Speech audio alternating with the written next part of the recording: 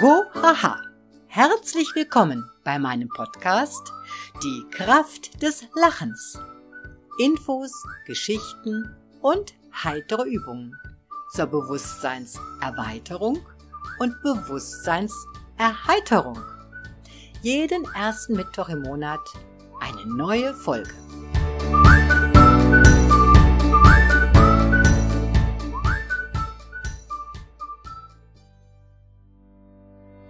Alles ist Schwingung.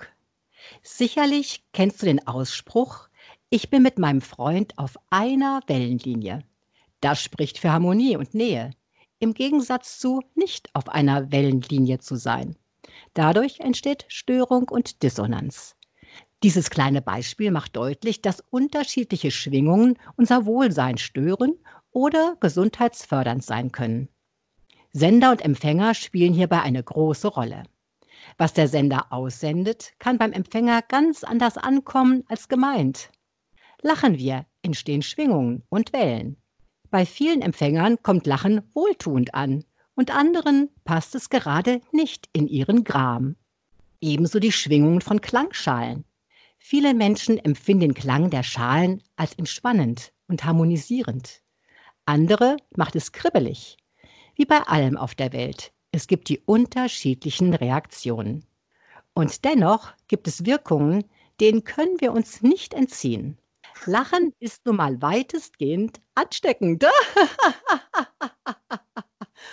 Und auch der positiven Wirkung der Klangschalen kannst du dich nicht vollends entziehen. Ich freue mich sehr, in meinem Podcast Die Kraft des Lachens meine wunderbare Lachkollegin Sabine Gebhardt begrüßen zu dürfen. Sie beschäftigt sich mit Lachen und Klangschalen. Liebe Sabine, stell dich doch bitte erst einmal vor. Hallo, liebe Silvia. Ich freue mich sehr, dass du mich zu diesem Podcast eingeladen hast. Ich bin ganz aufgeregt, ganz gespannt, was hier bei diesem Podcast passieren wird. Ich möchte alle Hörer und alle Hörerinnen ganz herzlich begrüßen.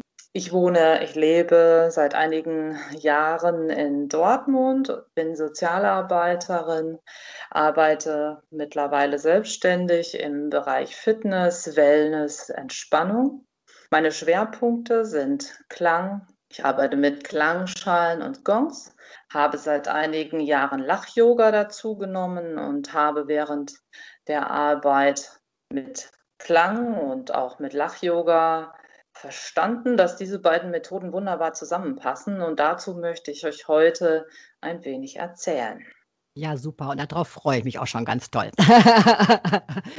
ja, wie kamst du auf die Idee, mit Klangschalen und Gongs zu arbeiten? Ich bin seit einigen Jahrzehnten im Fitnessbereich tätig auch im Bereich Seniorenarbeit und Gesundheitssport und habe dort immer wieder gemerkt, dass die normale Fitnessarbeit an ihre Grenzen kommt, dass es mehr gibt als Kraft, Koordination, Beweglichkeit, Dehnung, dass es die Menschen noch über andere Ebenen erreichen kann. Da mhm. habe ich den Klang entdeckt und habe diese Arbeit sehr intensiv gelernt und auch später dann angewendet, hatte eine eigene Praxis, in der ich Klangangebote gemacht habe, habe diese Arbeit auch in meine Gruppen integriert, habe darüber hinaus Workshops in diesem Bereich gegeben und habe gemerkt, dass auch da im Fitnessbereich der Klang ganz gut ankommt,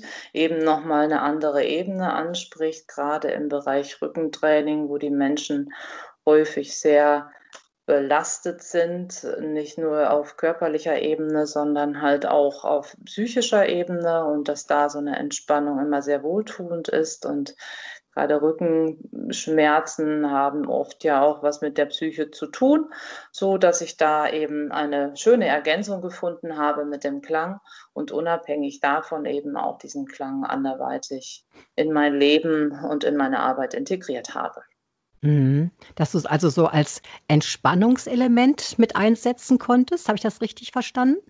Genau, als Entspannungselement, zumindest, also zumal in der Gruppenarbeit als Entspannungselement auf jeden Fall.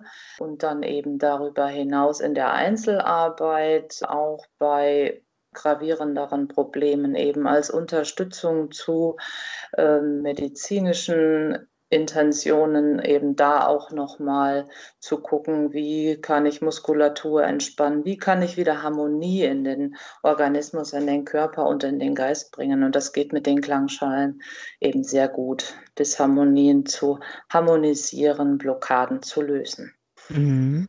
Also die Klangschalen haben Wirkung auf die Schwingungen im Körper.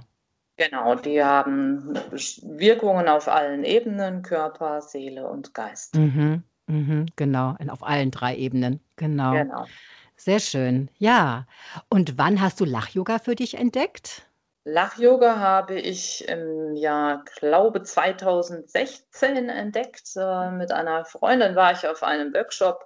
Das war ganz witzig, bin da sehr offen, habe gedacht, oh, da gehst du jetzt einfach mal hin, einfach erfreut.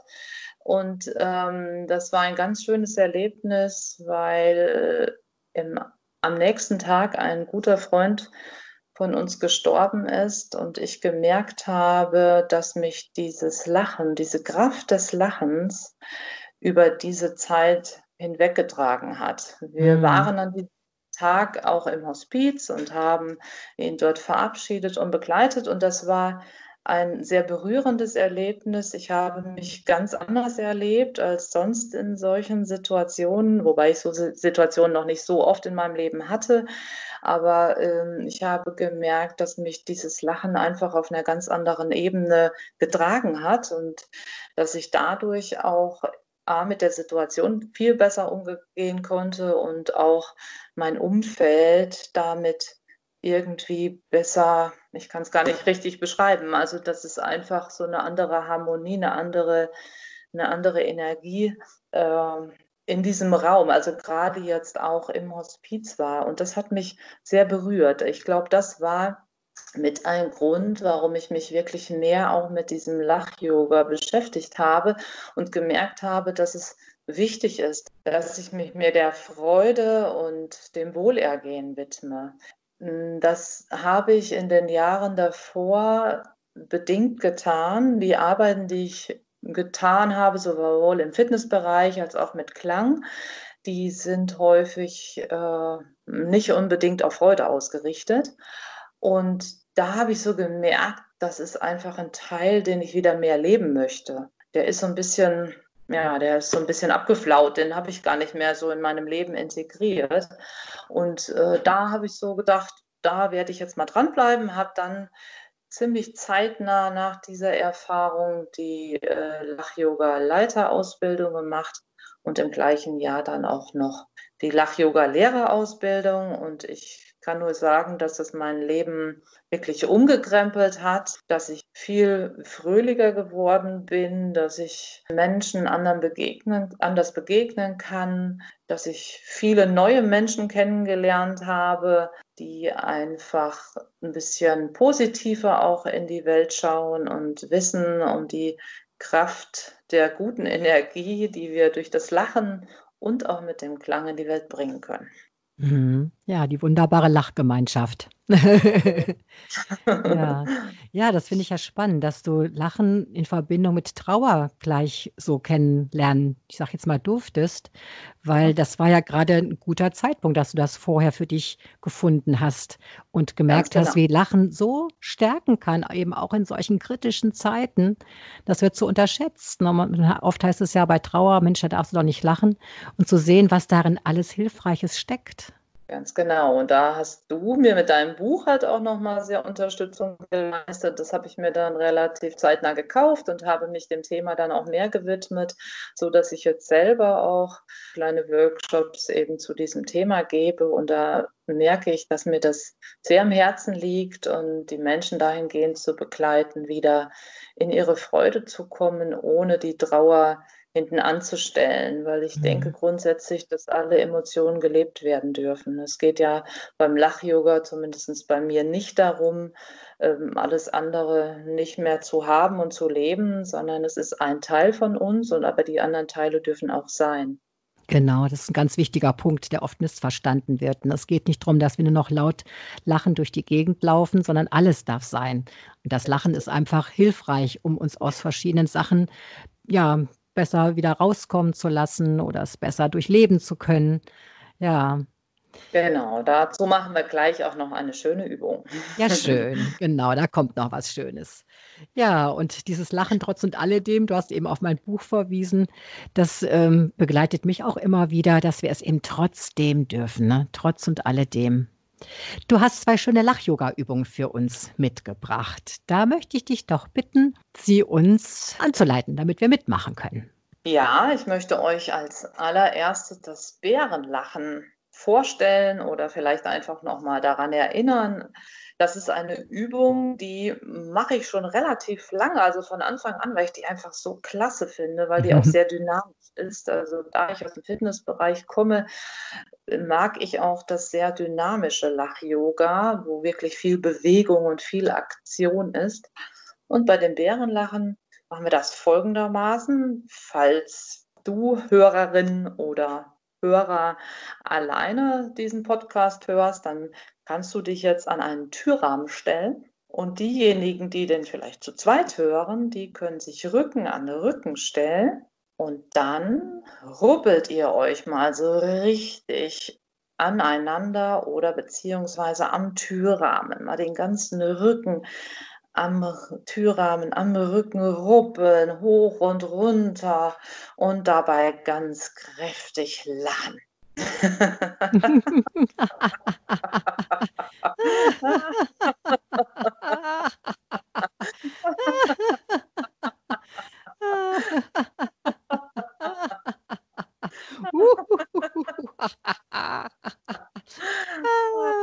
schön. Das ist wie bei Balu, der Bär beim Dschungelbuch. Genau. Probier's mal mit Gemütlichkeit. In meinem Lachtreff lasse ich diese Musik dazu immer laufen und Ah, das ist immer schön. ein ganz besonderes Erlebnis und sehr schön. Wir wechseln dann auch häufig noch die Partner. Ist im Moment halt nicht möglich, von daher nehmen wir den Türrahmen, okay? Ja, das ist auf jeden Fall eine super Möglichkeit, wenn man es alleine macht, ne? Und hat trotzdem eine schöne Rückenmassage dabei, weil das Richtig, aktiviert ja auch total gut alle Zellen im Rücken, den Blasenmeridian. Da passiert ganz viel, außer dass man Spaß hat. kräftig noch die Oberschenkel, wenn man ein bisschen hoch und runter Ja, geht. ganz Also genau. viele Facetten hat diese Genau. Übung. Ja. Lockert die Schultern, aktiviert die Lunge. Das finde ich bei den Lach-Yoga-Übungen immer so fantastisch, dass man den Spaß im Vordergrund hat und gar nicht so im Kopf immer sich sagen muss, wofür man das alles macht. Und trotzdem passiert so viel Wertvolles. Genau, das ist das Wunderbare, ohne dass die Leute es merken. Das Ganz genau. wunderbar. Ja, und du hast eben schon auch ein wichtiges Stichwort gegeben, das Bärenlachen so mit der Dynamik. Ne, wie du sagst, du kommst aus dem Fitnessbereich. Man kann es da dran anbinden und man kann es auch noch anders einsetzen bei der nächsten Übung, die du für uns hast, mit dem Fäustchenlachen. Das hat ja nochmal eine weitere Wirkung. Genau. So, dann möchte ich euch noch eine weitere Übung vorstellen. Das ist die Übung ins Fäustchen lachen. Ich habe diese Übung ein wenig erweitert. Da ich auch mit der Quantenheilung arbeite, habe ich sie zur Transformation erweitert und da möchte ich euch jetzt gleich eine kleine Anregung geben, wie ihr das machen könnt. Wenn ihr möchtet und bereit seid, dann dürft ihr euch jetzt bequem hinsetzen oder auch stellen, so wie es euch bequem ist. Und dann leite ich euch ganz ruhig und behutsam durch diese Übung, damit ihr euch da gut reindenken könnt, reinführen könnt und das Ganze auch genießen könnt. Wenn ihr jetzt einen guten, schönen Platz für euch gefunden habt, dann möchte ich euch bitten, dass ihr einmal die Unterarme zur Seite ausbreitet und die Handflächen nach oben streckt. Nun stellt ihr euch vor, wie in eure linke Hand alles hineinfließt, was schwer in eurem Leben ist.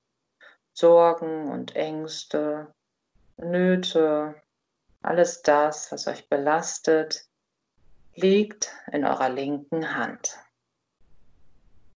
Spürt da einen Moment rein, spürt die Schwere. Vielleicht bewegt sich euer Arm auch ein wenig nach unten. Und wenn ihr dort alles gesammelt habt, wendet ihr euch eurer rechten Hand zu. Die rechte Hand sammelt alles ein, was leicht ist in eurem Leben oder was ihr noch haben möchtet in eurem Leben. Vielleicht Sternenstaub oder rosa Wölkchen, Glück und Zufriedenheit, all das sammelt ihr in eurer rechten Hand. Spürt auch da hinein, spürt die Leichtigkeit, spürt, wie die Hand sich vielleicht ein wenig nach oben bewegt und immer mehr dieser Leichtigkeit aufsammeln möchte. Und wenn ihr da jetzt ein gutes Gespür für habt, links und rechts, dann bringt die beiden Hände in der Mitte vor eurem Körper zusammen. Legt die Hände ineinander und dann schüttelt ihr die Hände ganz kräftig und stellt euch dabei vor, wie alles durcheinandergewirbelt wird. Alles gut durchmischt wie bei einem Kuchenteig. Jetzt, wo wir die Hände zueinander gelegt haben und ordentlich geschüttelt haben, führt ihr die Hände zum Mund. Und jetzt lachen wir uns kräftig eins ins Fäustchen.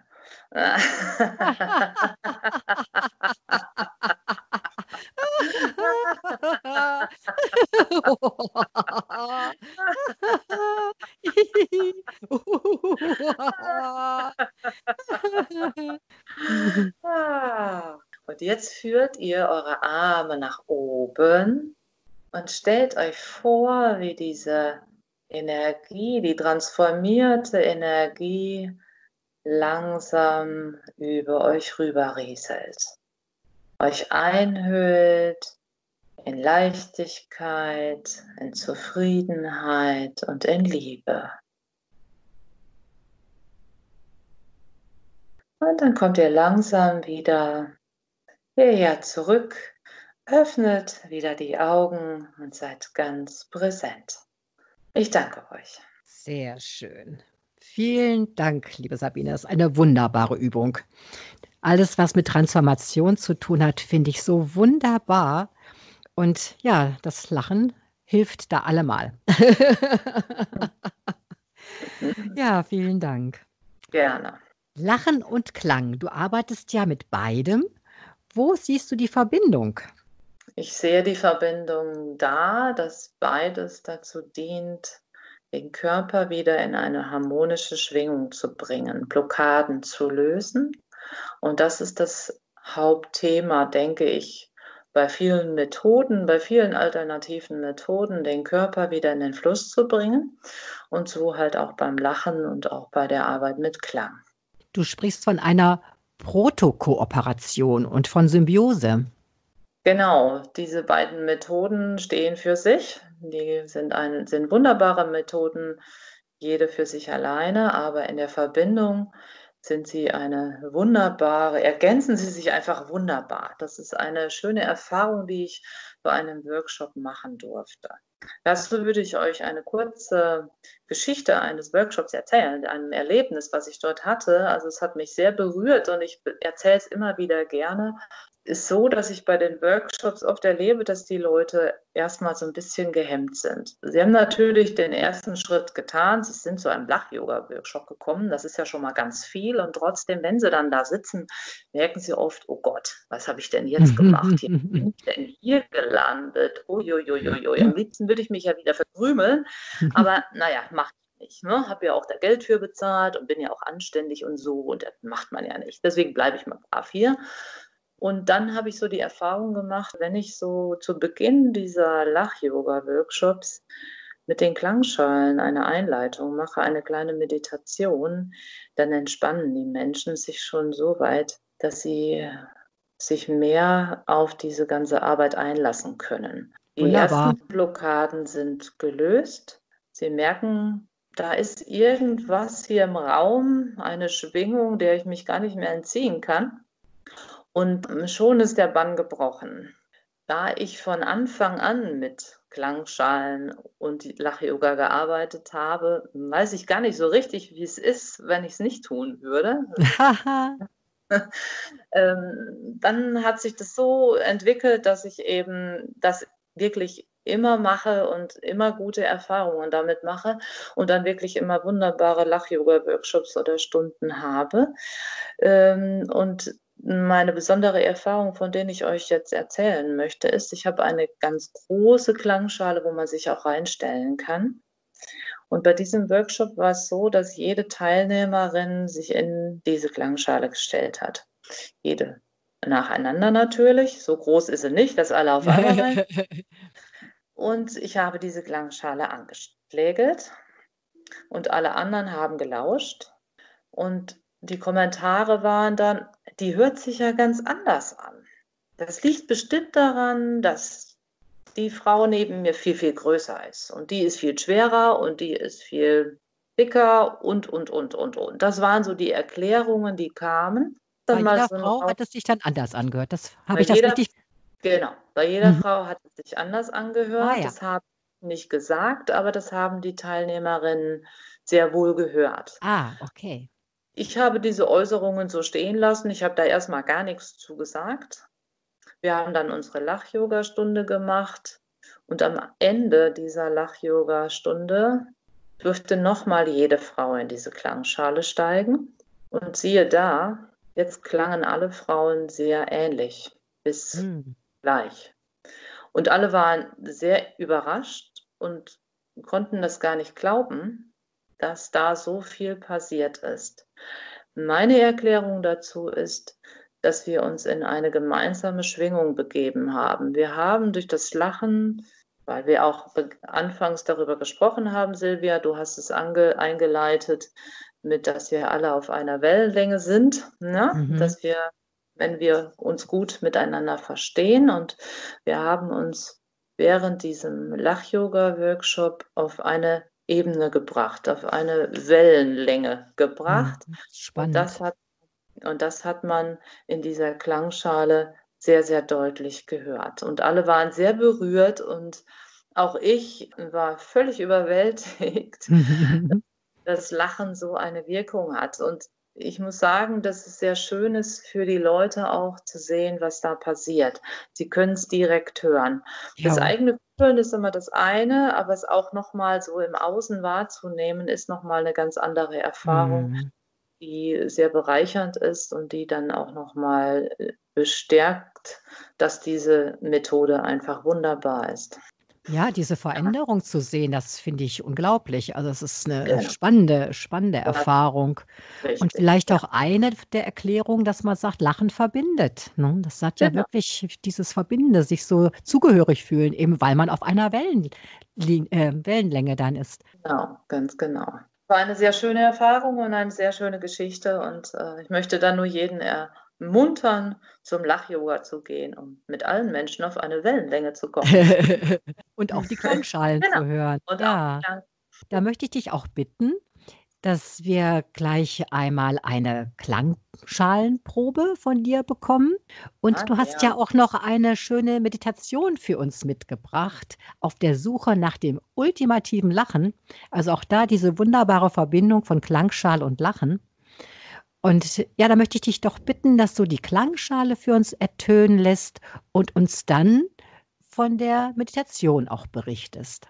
Oder vielleicht gerne. magst du vorher was zu der Meditation sagen, dass wir dann in Ruhe diese Einheit bekommen. Ja, das überlasse ich. Würde, ich. ich würde euch jetzt einmal die Klangschale vorstellen, mit der ich gleich die Meditation einleite und auch wieder beende.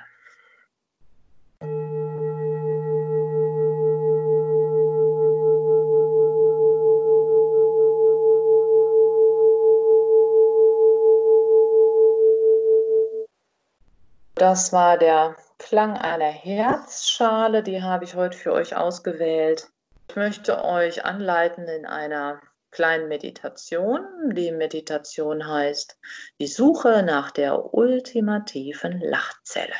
Dafür möchte ich dich bitten, dass du dir einen bequemen Ort suchst, bequem auf den Stuhl setzt oder dich gegebenenfalls auch hinlegst die Augen schließt, zur Ruhe kommst und auf deinen Atem achtest. Spür, wie der Atem in deinen Körper eindringt und den Körper wieder verlässt. Ganz gleichmäßig und entspannt. Jetzt machen wir eine kleine Reise. Geh einmal mit deinen Gedanken quer durch deinen Körper auf der Suche nach der ultimativen Lachzelle. Irgendwo in deinem Körper versteckt sich eine kleine Zelle, die den ganzen Tag vor sich hin lächelt.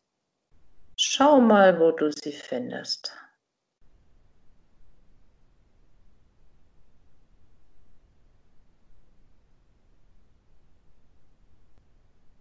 Vielleicht hat sie sich im dicken Zeh versteckt oder in deinem Herzen.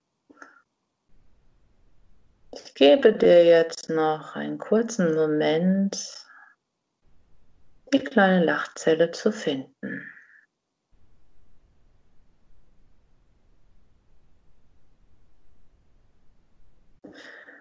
Wenn du sie gefunden hast, leg mal deine ganze Aufmerksamkeit auf diese kleine Lachzelle. Betrachte sie dir von allen Seiten. Schau, wie fröhlich sie daherkommt.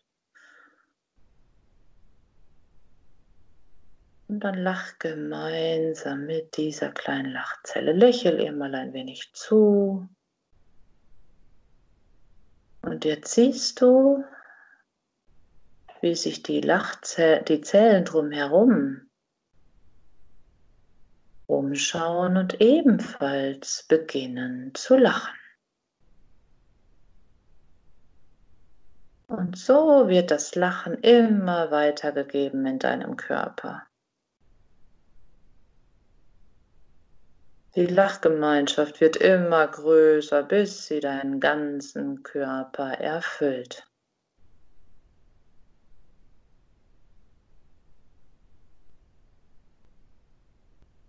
Spüre, wie das innere Lächeln deinen Körper entspannt,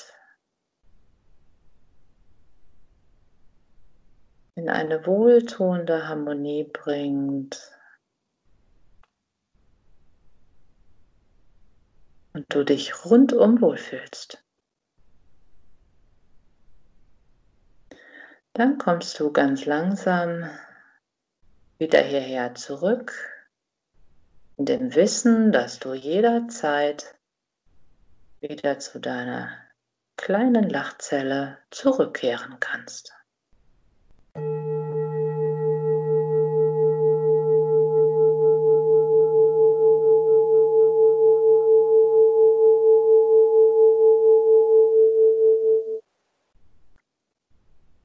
Ich bedanke mich bei dir für das Mitmachen. Liebe Sabine, vielen Dank für diese wunderbare Meditation. Welch schöne Vorstellung, dass ich in meinem Körper eine ultimative Lachzelle habe, die dann vor sich hinkichert und alle anderen ansteckt. Das gefällt mir sehr gut. Wirklich eine tolle Idee. Ja, ich möchte noch mal an das Thema vorhin anknüpfen mit dem Lachen und der Trauer. Dazu hast du ja auch eine Erfahrung mit Klangschalen gemacht, von der du mir berichtet hast. Und ich möchte dich dann bitten, das auch unseren Hörern und Hörerinnen zu erzählen, weil ich fand das schon sehr spannend, was du da erlebt hast, als du zu diesem Thema die Schalen eingesetzt hast. Magst du das gerade erzählen? Ja, gerne, das mache ich gerne.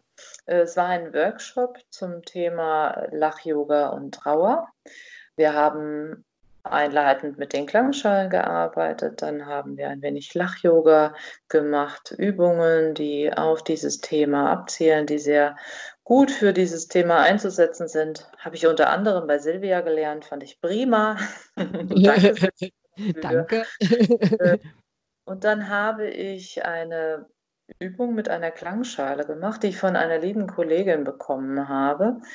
Und ich war sehr berührt, was innerhalb kürzester Zeit dort geschehen ist. Die Erfahrung war großartig. Es ist eine Übung, wo es darum geht, loszulassen. Das Thema Loslassen haben wir alle in unterschiedlichen Varianten. Es geht nicht immer nur darum, wenn Menschen sich von uns verabschieden oder sterben, loszulassen. Es geht eigentlich im ganzen Leben immer um Loslassen, wenn uns das auch nicht so ganz bewusst ist. Und dazu habe ich eine Übung eingesetzt, die das Loslassen leichter macht und ziemlich deutlich macht vor allen Dingen. Wie ihr ja eben gehört habt, ist die Klangschale ein Instrument, was sehr lange klingt. Es hat einen sehr langen Hall, Nachhall und es schwingt sehr anhaltend. Wenn ihr euch jetzt vorstellt, dass ihr eine Klangschale in die Hand nehmt und sie am Rand festhaltet, kann diese Schale nicht schwingen. Und genauso ist es mit den Dingen, die wir nicht loslassen. Wir halten fest. Wir können nicht mehr in Schwingung kommen, geschweige denn dann das Objekt, der Mensch, den wir loslassen sollten. Dann habe ich den Menschen, nachdem sie die Übung gemacht haben, mit dem Festhalten, wo sie alle sehr, ja, sehr verhalten reagiert haben. Ich fand die Gesichter dabei sehr ausdrucksstark. Sie waren sehr irritiert. Sie haben sich erschrocken. Also alles war dabei. Und dann habe ich die Klangschalen den Menschen auf die flache Hand gestellt, den Teilnehmern, und bin rumgegangen und habe die Klangschalen angeschlägelt. Sie konnten den Klang in der Hand spüren, sie hatten den Kontakt der Klangschale.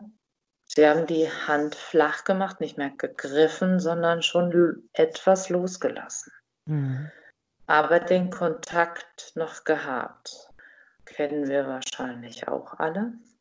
So, das war schon so eine Erfahrung, die die Menschen eher kannten. Das war schon so ein bisschen, ja, der ist noch da. Ich habe den Kontakt noch, aber wir, es schwingt. Ich bin noch in Berührung. So, und dann habe ich diese Schalen in der nächsten Runde von der Hand runtergenommen und vor die Hand der Teilnehmerin gestellt. Also immer nicht nur vor die Hand, vor die Teilnehmer. Mhm habe die Klangschalen wieder angeschlägelt und die Teilnehmer haben gespürt, ich bin jetzt wieder frei, ich kann meine Hand wieder bewegen. Ich komme aus dieser Starre raus, die das Halten, das Festhalten in mir ausgelöst haben. Mhm.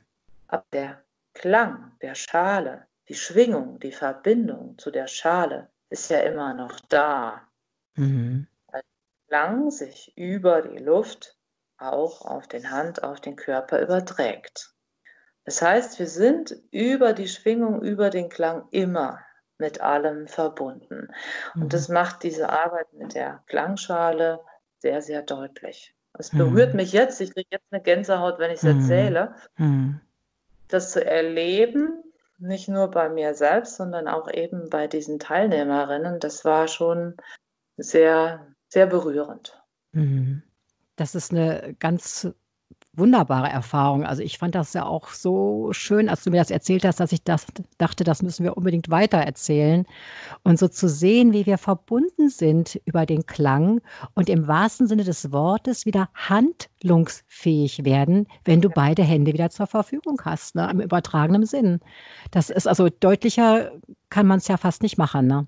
Genau. Das ist ähnlich wie eben diese Erfahrung mit dem Reinstellen in die Schale, dass es einfach mhm. Plastischer wird, dass es erfahrbarer wird. Mhm. Das Wissen um die Verbindung, das ist das eine, aber es wirklich dann auch so zu erleben, das, mhm. mal, das kommt nochmal auf einer ganz anderen Ebene an. Genau, die Erfahrung über den Körper ist immer am deutlichsten. Mhm. Ja. Da ist ja auch alles gespeichert im Körper, unsere ganzen Erfahrungen. Mhm. Ja, danke für diese Geschichte. Das ist Ja. schon sehr eindrücklich. Mhm. Was ist dein Resümee aus all deinen Erlebnissen und Erfahrungen, die du jetzt mit Lach-Yoga und Klang gemacht hast? Hm, dass es sich lohnt, diesen Methoden zuzuwenden. Ich möchte sie nicht mehr missen.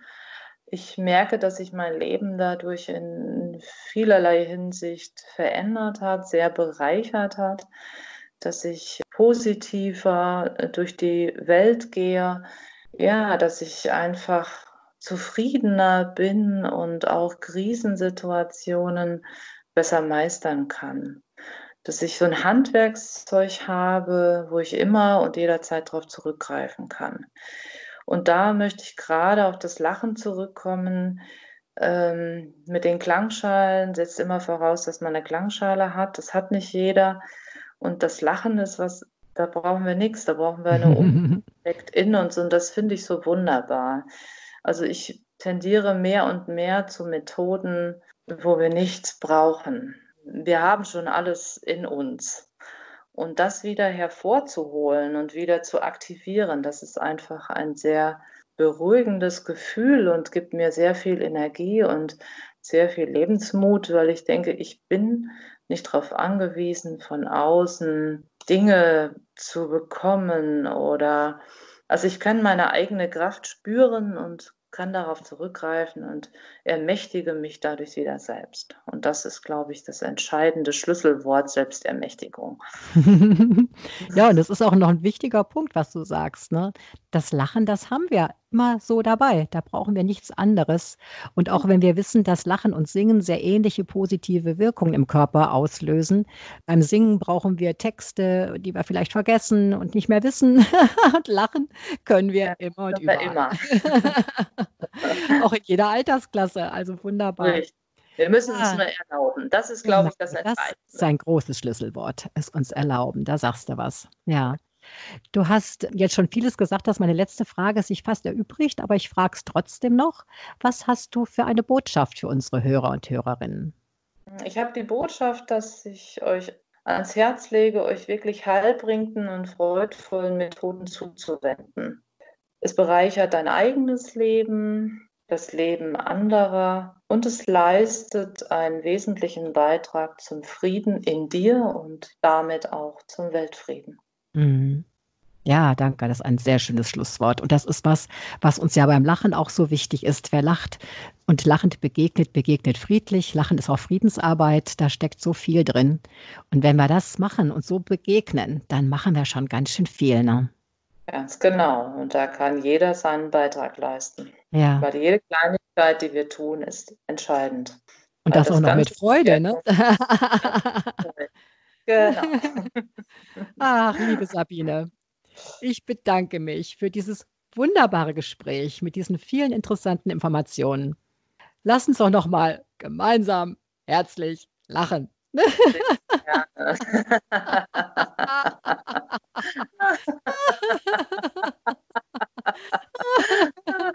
Ah, schön.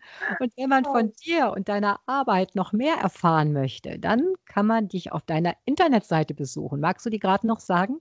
Gerne. Das ist die Adresse www.achtsamsein.de. Ja, danke, dass du dabei warst. Sag, eine Freude. Danke. Heiter weiter. Tschüss, auf Wiederlachen. Tschüss. Möchtest du von meinem Podcast durch dein Jahr begleitet werden?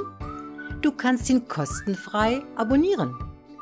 Und wenn du mehr über mich und meine Arbeit erfahren möchtest, findest du Infos auf meiner Internetseite www.lachyoga-silvia-rössler.de Silvia mit II vorne hinten und Rössler mit OESS. Ich wünsche dir ein herzliches Heiter weiter und freue mich auf unser Wiederlachen.